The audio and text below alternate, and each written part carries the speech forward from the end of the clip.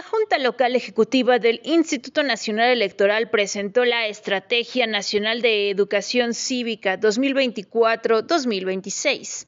En esta han participado instituciones gubernamentales, académicas, organismos autónomos y sociedad civil, por ejemplificar.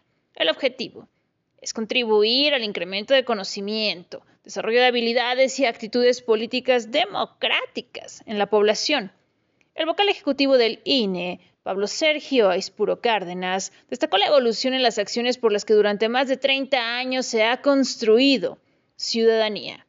El INE ha sido la fuerza motriz detrás de esta iniciativa, implementando planes y estrategias a nivel nacional y empujando también a otras instituciones y agencias del Estado mexicano para buscar acercar a la ciudadanía sus derechos y responsabilidades. A través de diversas actividades y proyectos hemos logrado fomentar un diálogo constructivo y promover la participación activa de todos los sectores de nuestra sociedad.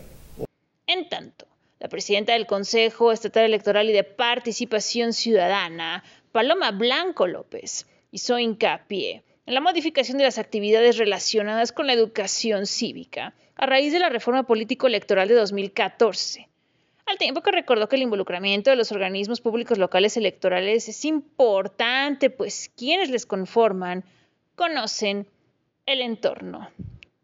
Tenemos pocos presupuestos, en donde tenemos muchas actividades, muchas responsabilidades, cada vez mayores retos. Me parece que la clave para implementar este tipo de estrategias y políticas públicas es coordinación, redes, y eh, eso, el, conjuntar los esfuerzos, sobre todo para no duplicar actividades o para maximizar aquellas que ya tenemos como atribución eh, legal y constitucional.